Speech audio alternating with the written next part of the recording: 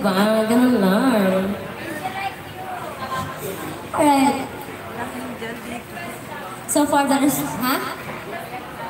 Oh, na naurasan po tayo.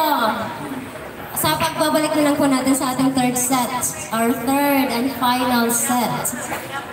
Standby po sa ating mga song requests at sa ating mga drummers. I'll be right back.